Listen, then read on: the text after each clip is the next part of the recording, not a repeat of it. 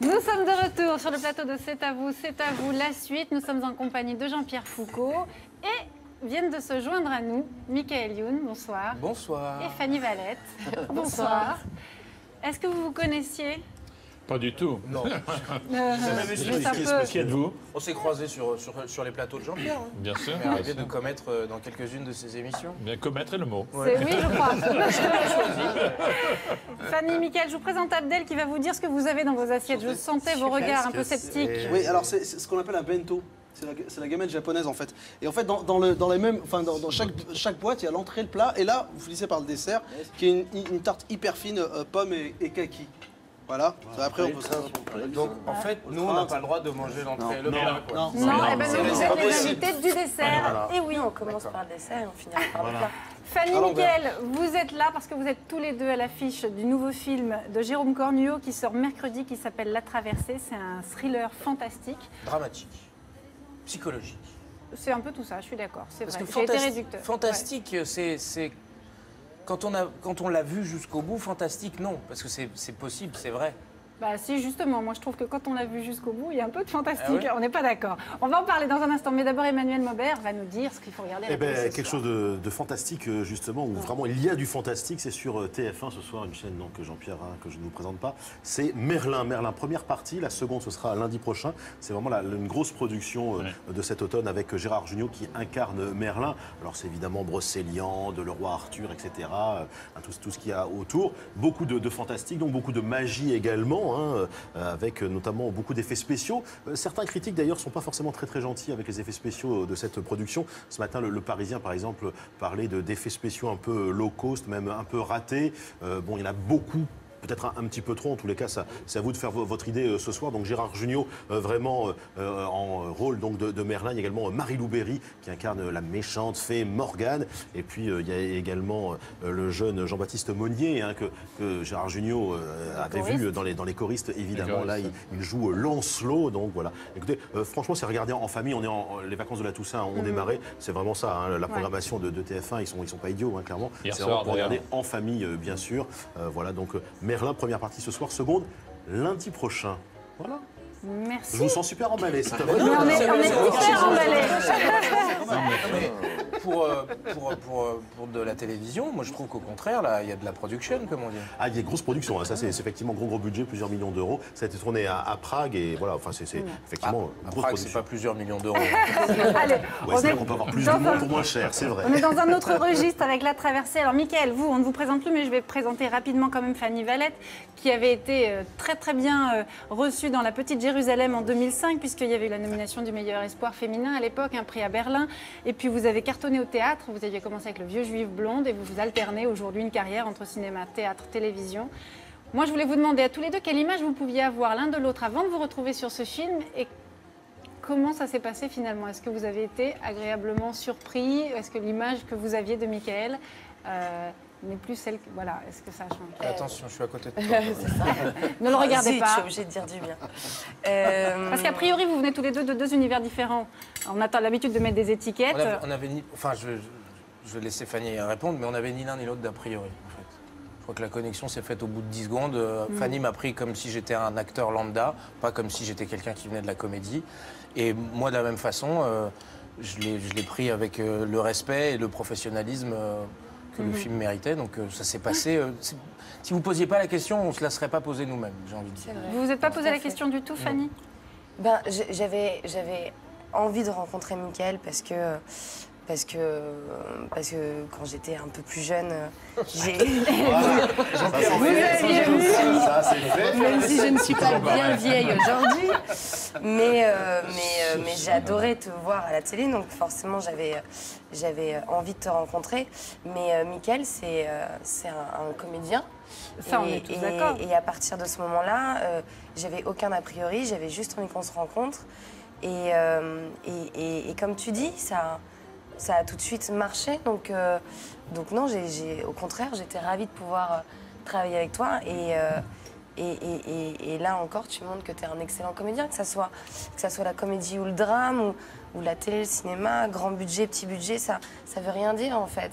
On, est, un comédien ou on l'est pas.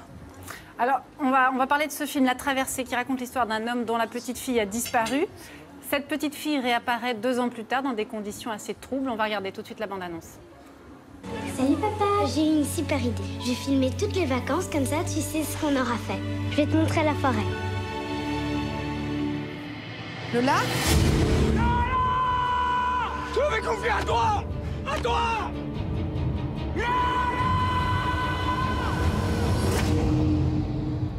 On a retrouvé votre fille. Elle est dans un sanatorium sur l'île. On sera plus jamais séparés, tu sais. Martin, elle parle pas. C'est important, Lola, il faut que tu me parles. Pourquoi il est flippé comme ça, ton père? Il a peur que je meure. Il va se douter de quelque chose. On n'aurait jamais dû faire ça. Pourquoi t'as écrit ça?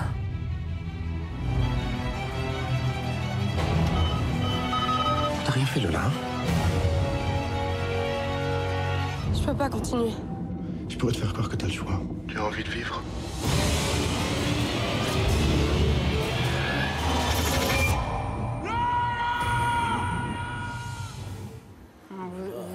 Reconnu euh, Ça fait un peu peur. Émilie Duquesne aussi. Ça fait, euh, oui, il y a une, une- Moi, j'ai beaucoup aimé, en fait, ce film, vraiment. J'ai été complètement prise dedans et euh, très surprise par la fin. Pour le coup, j'ai été bien menée par le bout du nez jusqu'au bout. Il faut dire euh, pour les téléspectateurs que c'est un, c'est un film avec un rebondissement à la fin où on comprend pourquoi on ne comprenait pas au début. Voilà, je me demandais s'il fallait le dire. On, peut- on se laisse en tout cas complètement traîner. Michael, c'est votre deuxième film noir, entre guillemets, après euh, Héros, qui était sorti en 2007. Un film qui, à mon avis, n'a pas eu du tout eu l'accueil mérité. 10 000 entrées on avait fait. C'est ça. hein. Mais j'avais pas fait, euh, j'avais pas fait cette émission. Ah, bah voilà. Voilà, ça va tout changer. Ça n'existait pas à l'époque. Alors à l'époque, vous aviez dit que vous aviez pris plus de plaisir à jouer dans ce registre qu'à jouer dans une comédie. Oui, mais vous savez, à force de répondre à, à- à plein d'interviews, On dit n'importe quoi. beaucoup- Non, mais on essaye d'avoir l'air intéressant ou intelligent. On essaye, j'ai bien dit. Et on dit parfois beaucoup de bêtises. Moi, je relis certaines de mes interviews. je- parfois, j'ai un peu honte quand même. ouais. Euh, non, mais j'ai pas pris. Je prends pas plus de plaisir euh, dans le drame que dans la comédie. Euh, le tournage est plus dur quand même sur un drame. Même Ah oui. si, même si on se serre les coudes. Mais oui, parce que là, par exemple, vous. C'est quand même l'histoire d'une gamine qui a disparu dans une forêt, qu'on retrouve deux ans plus tard, elle parle plus, il lui est arrivé quelque chose, j'essaye de comprendre, etc., etc. Ça prête pas à la gaudriole, le- même en dehors des scènes, parce qu'il faut rester dans le personnage, il faut rester dans l'ambiance. euh. Mais il y a des acteurs qui disent le contraire, qui sont capables de jouer des films extrêmement éprouvants, mais qui se marrent entre les scènes et qui disent s'est, l'ambiance. on s'est marré, on s'est marré aussi, mais quand même l'ambiance est, est- est pesante. Est pesante et, et, et, euh, et pour avoir l'air détruit comme ça pendant une heure et demie, il faut aussi être un petit peu détruit pendant 3-4 mois, la préparation du film et le tournage. On est dans une sorte de bulle. Vous êtes un peu adepte de, à l'acteur studio, quoi. Vous vous plongez Non, vraiment. parce que l'acteur ce- studio, c'est- comment est-ce que vous allez, euh, au travers de, de ce que vous avez vécu et ressenti dans votre vie, comment est-ce que vous allez le, le- le projeter dans, votre, dans votre personnage? Là, en l'occurrence, moi, je venais d'être papa. J'avais pas super envie de, de projeter ma petite gamine dans, dans, dans cette, dans cette horrible histoire. Euh, C'était vraiment oppressant sur le tournage, Fanny Vous aussi, vous l'avez ressenti comme ça? Non, non, mais je pense, je pense pas d'ailleurs que c'est pas ce que tu as dit, c'était pas oppressant. C'est- C'était studieux. c'est- Voilà, c'est plus ça. Sérieux, concentré. Euh, après, euh, après, euh, moi c'est vrai que j'ai besoin quand même de rire entre les prises, Euh, même si, euh, comme tu dis, c'était pas, euh, c'était pas un concours de vannes. Par exemple, quand on était euh, tous les deux dans, dans la voiture, parce qu'on a fait beaucoup de voitures dans ce film, on est allé dans des endroits improbables. Euh, les Landes en Écosse, la banlieue d'Echternach au Luxembourg. Euh, C'est on, a fait, on a fait du ferry entre Zeebrugge et Hull. Ça a l'air sympa. Voilà, ça, là, vous avez, non, Ah, non, mais bien, les, décors sont, euh, les décors Du sont, coup, ça aide euh, à rester dans le personnage. voilà, ça, les décors les sont un peu décors angoissants. voit, vraiment, on était vraiment dans les mêmes décors en fait. Et euh, on avait des grands moments de silence dans la voiture tous les deux. Non, mais c'est vrai. Et c'est ça qui était formidable aussi, c'est qu'on pouvait rester sans forcément En être fait, obligé de se dire quoi que ce soit. On était très concentrés. Michael, vous venez de la télé, Jean-Pierre, euh, on passe de la télé au cinéma. On vous a jamais euh, Non, proposé quoi métier. que ce soit Je, Ça je vous a reconnais jamais les tenté compétences. Je reconnais les compétences de, de Michael, qui est bien dans toutes les disciplines. Ça, c'est pas facile du tout, hein, comme un acteur, un véritable acteur. Mais moi, je reconnais parfaitement mes incompétences dans, le- dans la comédie. Je sais être à peine moi-même. Alors, il y a des talents variés, hein, parce que Fanny, dans le film, on vous voit chanter. Et honnêtement, vous avez une très jolie voix. Vous aviez déjà chanté avant? Euh, non. Non, non, non, non, absolument pas. Euh, mais je chante très peu d'ailleurs. J'ai juste. Oui, mais un- ça suffit, on, on entend bien. mais tu chantes bien. Et, et vous êtes quand même avec un artiste de la chanson aussi, hein, attention. Ah oui, Elle oui, a quand oui, même moi, je- de multiples Ah oui, facettes. Pas vraiment un artiste de la chanson. De temps en temps, je viens voir s'il y, a y encore un peu de monde. je viens voir si je peux déranger un peu, puis je fais non, non, je vais y aller. On, on va déjà devoir se quitter. Moi, je vous propose de vous lever. On va aller faire une petite photo de fin. Je rappelle rapidement quand même. Jean-Pierre Foucault, Les voitures des années 50 aux éditions Michel Lafon. Merci pour ce magnifique livre d'histoire sur les voitures. Et puis La Traversée qui sort donc mercredi, un film de Jérôme Cornuau avec Michael Youn, Fanny Valette et Émilie Dequesne. Venez avec moi, on va se retrouver pour la fin sur la photo. Pas fini Tous rassemblés, je vous rappelle que demain, notre invité, ce sera Aurélie Filippetti. Et puis nous recevrons également Nicolas Ré à l'occasion de la sortie de son nouveau roman. Tout le monde. Et Nicolas Bedos, pardon. Ah oui. Rapprochez-vous, rapprochez-vous. Attention, la photo.